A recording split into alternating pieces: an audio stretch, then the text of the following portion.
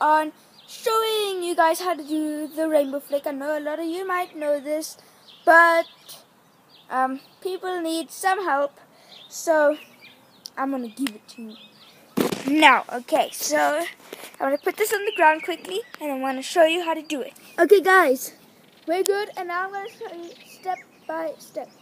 So the first step is put your foot like this so like it's facing to, let's say, um, a wall, okay? And put one in the front like this.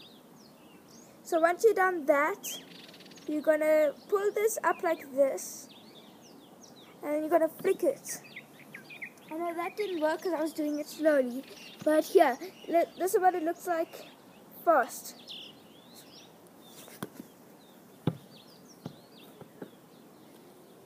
Okay, so if you want it slower, here it is. So put it like this. Step one is that. So step two, you have to pull it up like this. And step three, just flick. So at the end, you'll get something like this. You know what?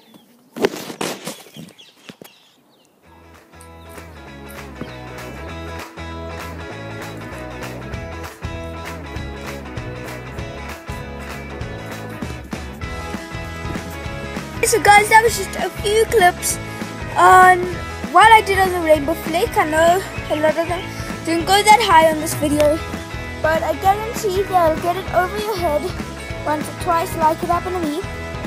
Okay, so yeah, that's just a little video on how to do the Rainbow Flick. So if you like this video, please leave a like and subscribe, and I'll see you all next time. Bye-bye!